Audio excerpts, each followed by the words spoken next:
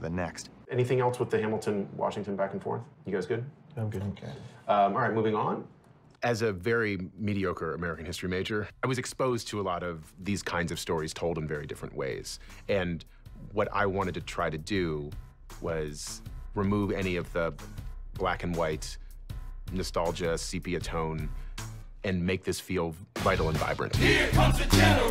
Ladies and gentlemen, here comes the general. The moment you've been waiting for. Here comes the general. The pride of Mount Vernon. Here comes the general. George Washington. We are outgunned, what? outmanned, what?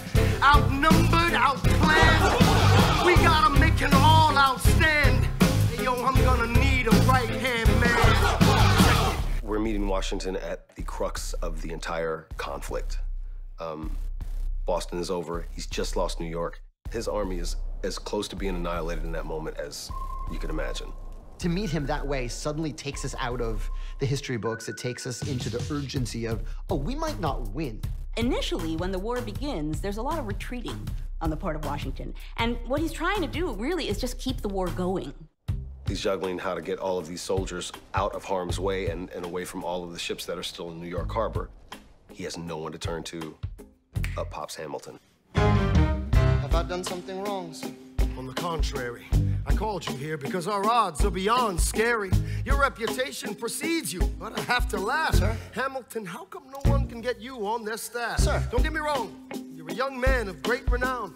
I know you stole British cannons when we were still downtown. Nathaniel Greene and Henry Knox wanted to hire Yeah, you. to be their secretary. I don't think so. Now, why are you upset? I'm not? It's all right. You want to fight. You've got a hunger. I was just like you when I was younger.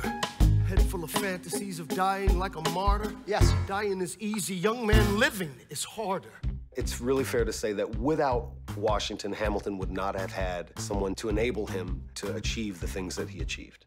Conversely, without Hamilton, Washington wouldn't have had someone there to help him and advise him. When you're in someone like Washington's position, you don't there aren't many people that you can truly trust. Hamilton had distinguished himself multiple times as a warrior. It's probably one reason why he was frustrated that he was not then promoted as a warrior, but then was promoted as a secretary and aide de camp to George Washington. I'll write to Congress and tell them you need supplies. You rally the guys, master the element of surprise.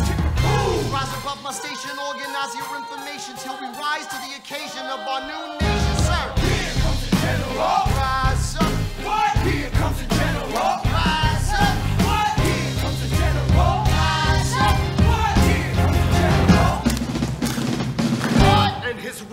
right man. Ooh.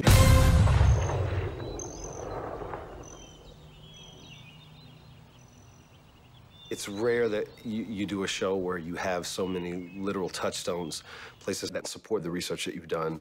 It's helped keep the fire burning, you know, day after day doing the show, eight shows a week, and, and being able to imagine yourself in a very real way in those same footsteps. That would have been Mr. and Mrs. Washington's room. You're looking at just as they would have seen it. I can't even imagine how much stress he must have been under.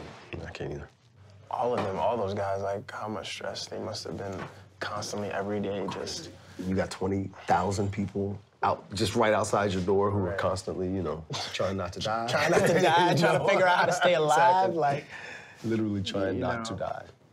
The front parlor would have been used by General Washington's aide de camps, Hamilton, along with John Laurens. They were the two prominent secretaries that worked for Washington here. All the paperwork it took to administer the Continental Army is being done in this room here. as Washington's aide de camp. Hamilton is doing everything from sorting through intelligence to carrying out prisoner exchanges. He's writing essays, he's writing letters, he's teaching himself about foreign currencies. So he was really using uh, the American Revolution as a kind of crash course in history and politics. Just being in Valley Forge, you realize how much ground they had to cover. When he was like, retreat, attack, retreat, we're moving our men back, it's like, that's like miles. That's like crossing state lines without a car or horse and carriage. Those are soldiers that are like foot soldiers. The scope of it was just so much bigger and, and far more real. Y'all be having reenactments out there? Yeah, we do it every now and then. We'll do cannon firing and that kind of thing. Would they let us fire a cannon? We'll get you on a musket. How's You that? know?